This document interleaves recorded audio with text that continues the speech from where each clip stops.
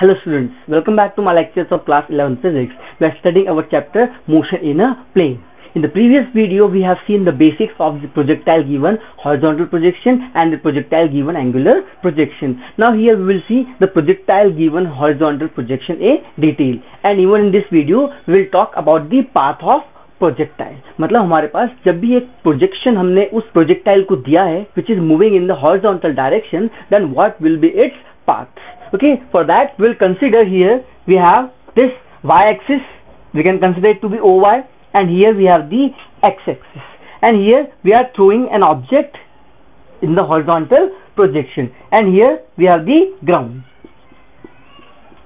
so we have to see that what kind of this path is followed by that projectile. Here we are assuming that the velocity with which the object is being projected that is u and here it is the origin and we can consider these points of the origin to be x naught and y naught and we can consider the position point P which have coordinates x and y. Here up to this point we have y and up to here we have this x okay? Now here we have to find the path of projectile. For that we have to write the equations for the position of the object along the x-axis and y-axis.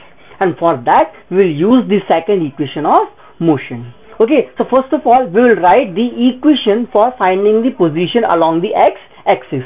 So position along x-axis. For this we will use the second equation of motion. That second equation of motion is S is equals to ut plus half at square. But here this S represents the distance and we have to find the position. So I can write this S as x minus x naught. If I subtract this x from this x naught, we will get the position. So x minus x naught is equals to uxt. This ux is the velocity along the x-axis. t is the time in which the object is reaching from point O to point P. Okay, plus half ax t square. This ax is the acceleration along the x axis मतलब यहाँ पर जो हमारे पास second equation of motion है, इसको हमने along x axis यहाँ पर लिख ली। Now in the previous video we have already seen that the velocity at any point that will be along the two different axis and both velocities will be perpendicular to each other so at any point this point we have the velocity along x-axis and we have velocity along y-axis and this velocity along x-axis that always remains constant that is same as the u but this velocity along y-axis that changes because of the gravity. Okay now here along the x-axis this ux that is equals to constant and that is the velocity with which the object is thrown. And if this velocity is constant then I can write this ax that is equals to 0 agar velocity constant to acceleration kya ho jayega? That will be equals to 0 and also this x naught that is equals to 0 why? Because this x naught and y naught they are at the origin and the value of x naught and y naught is equals to 0 now I will put all these values in this equation. So I can write here this x is equals to ux into t. That is equals to u into t plus half axt square. If this ax is equals to 0 then this complete will be equals to 0 so from here I can write this t is equals to x by u. It means the time in which the object reaches from point O to point P that time is equals to x by u. Okay? Now I will write the same equation for the position along the y axis. So position along y axis. I can write the equation s is equals to ut plus half at square and I will write this in terms of y-axis. That is y minus y naught that represents the position s is equals to uy t plus half ayt square. Okay? Now here this uy that is the velocity along y-axis at that point.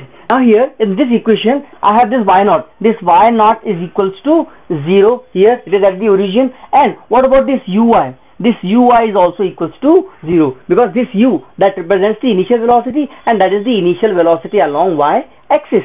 But in starting we have only given the velocity along the x-axis we have not given any velocity to that object in the y-axis that's why this uy is equals to 0 and here it was u because we have given the velocity along only x-axis here also this ay now this ay is the acceleration okay now this acceleration along the y-axis that is same as the acceleration due to gravity because this object along the y-axis that will move under the effect of gravity only. So I can write this acceleration that is g.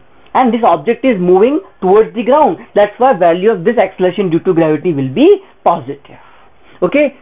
So here we'll put all these values in this equation. I can write y is equals to half g t square. Now up to this point P we have the time t in which the object reaches point P and we have the value of t from this equation. So I can write that value of t here in this equation. I can write y is equals to half g into x by u whole square. Okay, here I can write this y is equals to half g by u square into x square. Now here this g that is the acceleration due to gravity that is constant. This u that is the velocity with which we are throwing the object and that always remains constant. So here this half g by u square that is a constant quantity. So I can write this y is equals to kx square. And now this y is equals to kx square. It is the equation of a parabola. Okay, so here what this equation represents? This equation represents that whatever this path is followed by that projectile that path is a parabolic path okay and you can say this is y is equals to kx square इसका मतलब यहाँ पर हमारे पास जो parabola का path है वो किसके सिमेट्रिक है it is symmetric along the y axis हमारे पास पैराबोला कुछ इस तरह से होता है ये we have this parabola and here we have this origin and we have this x-axis and we have this y-axis and it is symmetric about this y-axis okay and this parabola it is along the y-axis moving in down direction तो यहाँ पर हम कह सकते हैं कि अगर हम इसको ऐसे भी बना दें मतलब ये जो सिमेट्री है किसके अक्रॉस सिमेट्रिक है it is symmetric along the y-axis okay and such kind of paths they are the parabolas okay so here we can say this is the equation of parabola and the path of projectile is parabolic path and here it can be also asked to prove that prove that the path of projectile is parabolic so in that case you have to derive it and at the last you have to get this equation y is equals to kx square and this is the equation of parabola अगर ये equation आती है इसका मतलब क्या है ये जो पाथ है which is covered by that projectile that is parabolic path so here we got this equation which proves that the path of projectile given horizontal projection is parabolic in nature